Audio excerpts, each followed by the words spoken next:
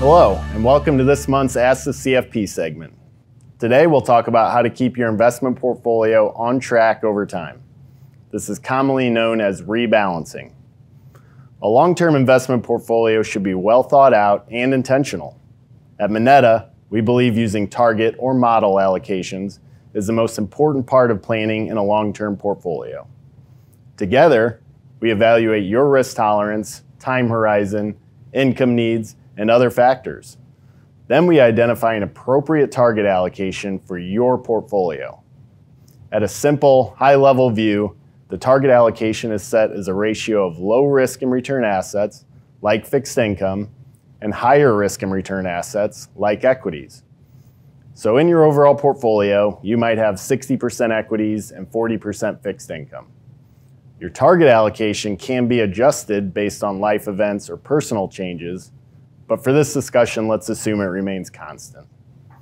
It's very important to remain aligned with these targets over time so the portfolio stays within your risk tolerance and doesn't become too aggressive or too conservative. Using the example of a portfolio targeting 60% equities and 40% fixed income, let's say there's a year that equities are doing exceptionally well.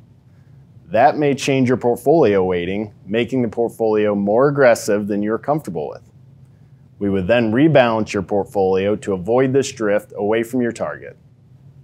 Rebalancing can occur in a number of ways depending on whether you're in a money saving stage or retired and using the portfolio funds to meet living expenses.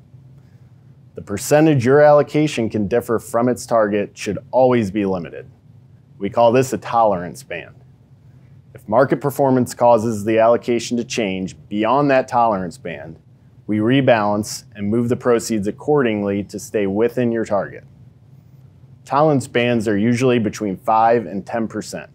You don't want a tolerance band of 1% because the market can move that much in a single day. Rebalancing too often can cause tax consequences or excess transaction fees. On the other hand, you also don't want a tolerance band of 25% because it could significantly change your portfolio's risk. We also keep in mind taxes when rebalancing. As much as possible, we rebalance to avoid incurring extra income on your tax return. Rebalancing your investments is a key factor in reaching your long-term financial goals.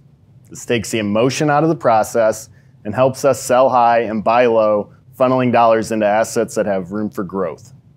If you have a question on this topic or a suggestion for a future Ask the CFP segment, please send it to mpeak at. Thanks for watching and we'll see you next time.